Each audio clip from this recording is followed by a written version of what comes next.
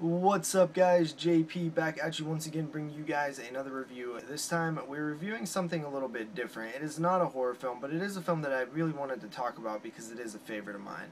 Uh, it does have sort of a darker tone to it, and that is Surviving the Game from the year 1994. This stars Rutger Hauer, uh, Gary Busey, and of course Ice-T as our lead character. It's sort of one of those classic tales. It's the tales of humans hunting humans, you know, the most dangerous game.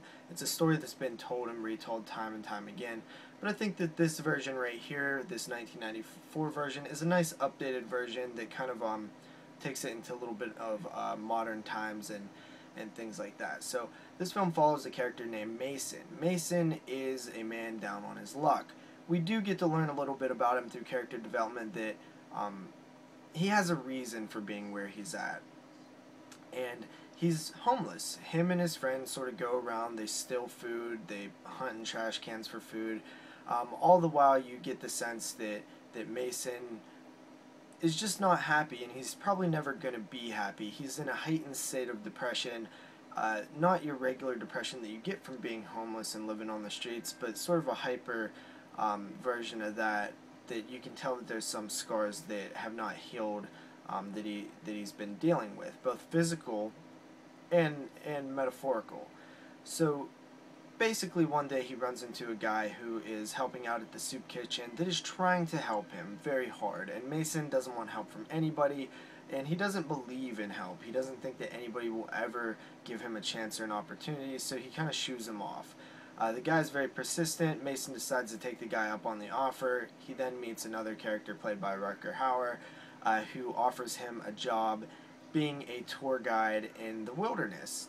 Mason doesn't know anything about being a tour guide, but it's supposed to pay well, so what the hell? He doesn't have a job, he's homeless. He gets cleaned up and he decides to go out. They fly out to the wilderness, they spend a night drinking and telling stories. We're introduced to all the characters. They're they're all wealthy hunters. They are all people who come from uh, you know good backgrounds, people doctors and lawyers essentially.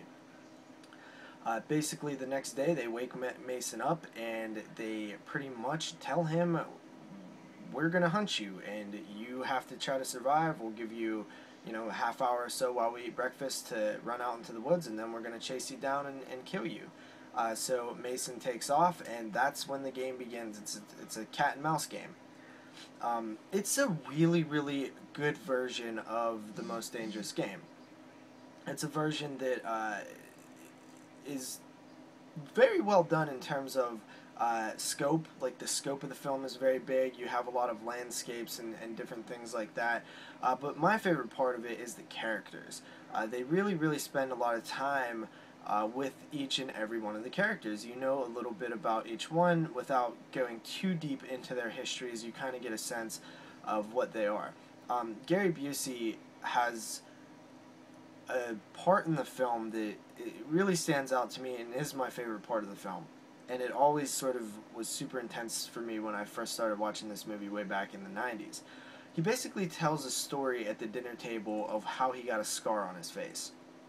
And it's a very dark and twisted story of his, um, what I would consider abusive father, uh, bought him a bulldog, and he taught the bulldog to be a protector.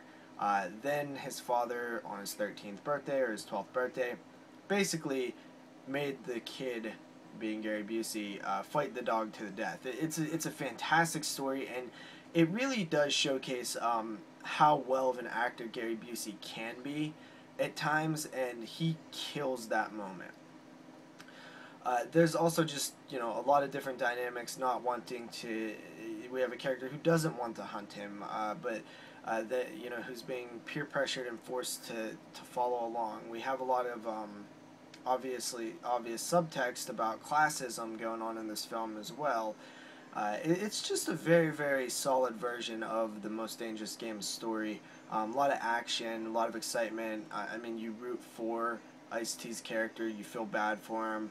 Uh, it, it's a film that even though it's not a horror film, it does have that dark element of humans hunting humans that I think you guys will really enjoy. It really is an underrated gem that I don't hear many people talk about. I hope that you guys check it out, and I hope that you guys um, pick this up because it's super cheap. You can get it really cheap on this old snapper case. I don't know about you guys, but I used to hate these things. Now I feel like nostalgic when I get them. They, they, they take me back to the, the days of uh, DVD collecting when, um, you know, the, the market was booming. The, the DVD market was booming back then, and I kind of missed these old snapper cases a little bit. So, see you guys with another review. Peace out.